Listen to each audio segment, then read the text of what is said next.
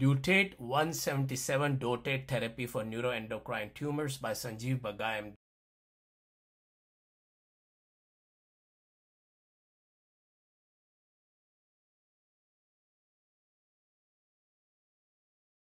Neuroendocrine tumors represent malignancies that overexpress somatostatin receptors. Neuroendocrine tumors image using somatostatin analogs labeled with gallium-68 like gallium-68 dotate Lutetium-177 is a beta-emitting radionuclide that is used for treatment of neuroendocrine tumors.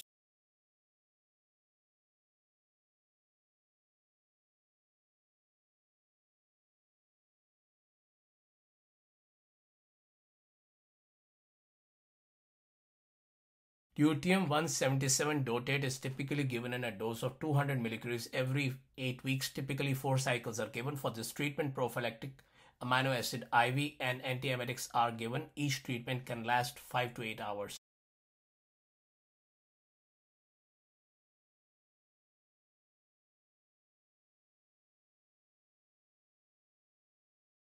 To confirm somatostatin receptor expression on the tumor, the patient should have a positive gallium-68 dotate PET scan or indium-111 octreoscan. scan. On the indium-111 octreoscan scan, lesion uptake greater than liver is required to start this treatment on gallium-68 based somatostatin receptor PET lesion uptake should exceed liver uptake. Lab values should be checked every two weeks before each cycle. Blood urea nitrogen, creatinine, albumin, alkaline phosphatase, aspartate, aminotransferase, alanine, aminotransferase, total bilirubin, white blood cell with differential count, hemoglobin, and platelet counts are checked. Lutetium-177 therapy should be done four weeks after the last long-acting somatostatin analog therapy to prevent interference with somatostatin binding. Short-acting somatostatin analogs used as a bridge should be stopped 24 hours before treatment. After finishing lutetium therapy, somatostatin analogs can be given after a few hours.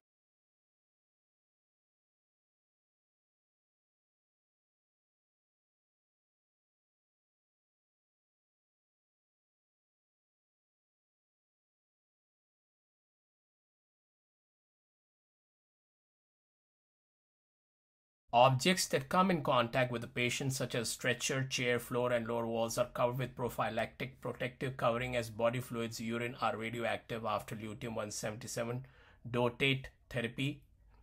An attached toilet in the therapy suite will help the patient void frequently on the completion of lutetium-177 therapy.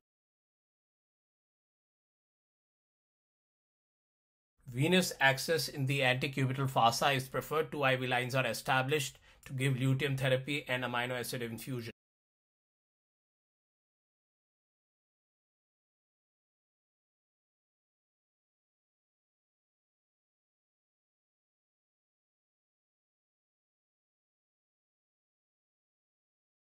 to protect the kidneys and decrease reabsorption of lutetium-177 in the proximal tubules, amino acid infusions with appropriate amount of arginine and lysine are infused before, during, and after therapy. The high osmolality associated with commercial amino acids causes nausea and vomiting requiring antiemetics. Nausea and vomiting occur with IV infusion rates above 250 ml per hour of commercial amino acid solutions. A pre-medication regime consisting of a 5-HT3 antagonist, an NK1 receptor antagonist, and an H2 receptor antagonist is given.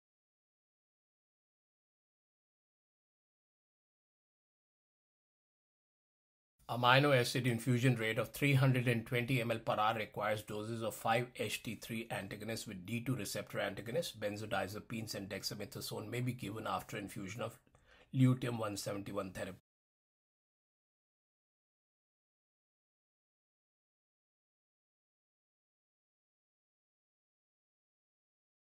Lutetium-177 has a half-life of 6.6 days Blood and urine are the main sources of radioactive contamination during and after therapy.